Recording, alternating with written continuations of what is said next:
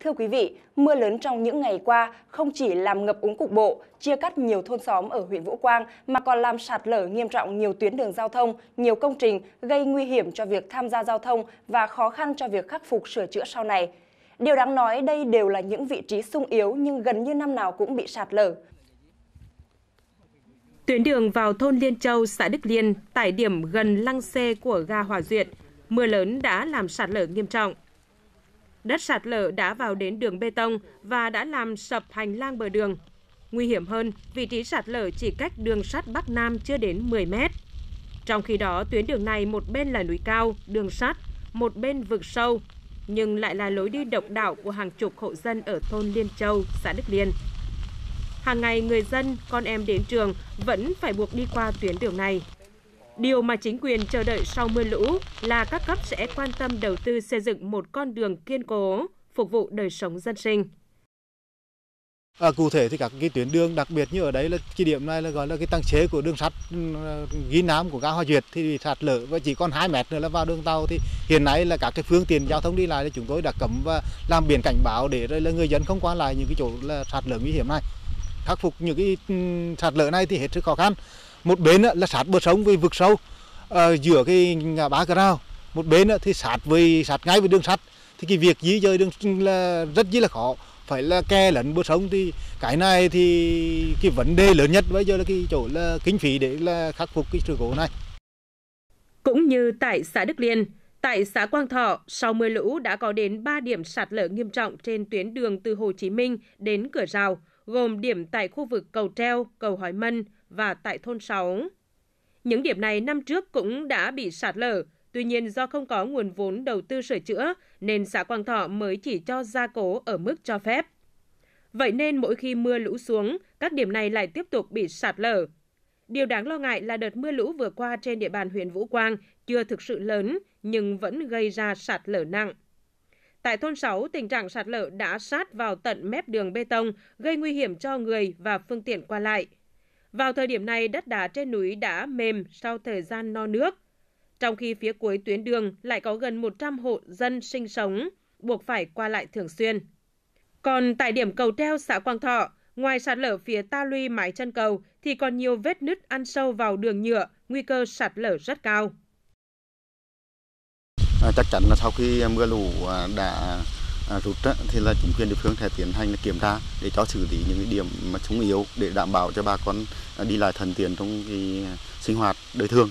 Và ừ, sau đó thì sẽ là à, tìm cách để khắc phục. Tuy nhiên là với cái mức độ sạt lở như thế này thì cái nguồn ngân sách của địa phương để mà đáp ứng để mà đảm bảo ừ, khắc phục cho, cho, cho một cách triệt để thì gặp nhiều khó khăn. Ờ, cái này thì chắc chắn rồi sau khi bão lũ ra thì chúng tôi sẽ có cái đánh giá để làm báo cáo đề nghị với huyện và các cấp có thẩm quyền để có cái xem xét hỗ trợ để, để thực hiện phương án khắc phục trong điều kiện à, cần thiết nhất và trong điều kiện cho phép. Không chỉ có các tuyến đường giao thông mà nhiều điểm sạt lở bờ sông Ngàn Sâu, Ngàn Trươi cũng đã xảy ra như ở Hương Minh, Đức Liên, Đức Hương và Đức Giang. Tại xã Hương Minh, phía sau trường tiểu học xã đã xảy ra tình trạng sạt lở trong nhiều năm qua. Trận mưa lũ mới đây đã ăn sâu vào hơn 1 phần 2 sân tập thể dục của nhà trường. Nằm sát bờ sông, địa hình đất pha cát nên tình trạng sạt lở khá nhanh. Từ chỗ trường học cách mép bờ sông hàng trăm mét thì nay chỉ còn vài chục mét. Ngoài sân tập thể dục của nhà trường bị hư hỏng thì tình trạng sụt lún, sạt lở phía ngoài cũng đã làm cho toàn bộ tường rào phía sau nhà trường bị nghiêng hẳn. Tường nhà đa chức năng, phòng học nhiều chỗ bị rạn nứt, gây lo lắng cho nhà trường và nguy hiểm cho các em quay trở lại trường, tiếp tục học. Mỗi năm nay thì cứ đến mùa, mùa mưa lũ thì à, sạt lở rất nhiều. Đặc biệt là năm nay thì à, à, cái, cái lưu lượng à, sạt lở lại càng nhiều hơn. Và hiện nay thì đã ngoài cái việc là sạt lở vào gần quá nửa khu vực sân thì đã đến hành lang à, bờ tường rào của các cái giải phòng nhà được chức năng và phòng học và nếu mà không không ờ, sớm khắc phục thì có nguy cơ sẽ ờ, sập cả cái giải nhà xong chức năng và phòng học thì ờ, với về vai trò là người quản lý trong nhà trường tôi cũng mong muốn các cái chính quyền địa phương và các cái ban chức năng sớm vào cuộc để sớm khắc phục, để đưa sân tập trở lại cho trường tiểu học Phương Minh để có các em có cái điều kiện học tập tốt hơn trong cái thời gian tới. Ngay khi mưa lũ xảy ra, lãnh đạo huyện Vũ Quang đã đi kiểm tra chỉ đạo các địa phương đơn vị thực hiện các biện pháp đảm bảo an toàn cho nhân dân. Trong đó đã chỉ đạo tại các điểm giao thông bị sạt lở, cắm biển cảnh báo nguy hiểm và thường xuyên cử người túc trực để hướng dẫn, ngăn không cho người qua lại. Tại các vùng sạt lở bờ sông, các hộ sống gần vách núi buộc phải di chuyển người và tài sản đến nơi an toàn. Đặc biệt là tại dốc Đụng Đung, thị trấn Vũ Quang, trước nguy cơ sạt lở hệ thống đường dây, cột điện 35 kV, huyện đã chỉ đạo ngành điện lực di chuyển hệ thống đường dây, cột điện, tránh bị đổ xuống đường tỉnh lộ 552. Điều khó khăn nhất ở huyện Vũ Quang là sau mưa lũ buộc phải khắc phục các điểm sạt lở, hư hỏng. Trong khi đó, ngân sách địa phương lại không có.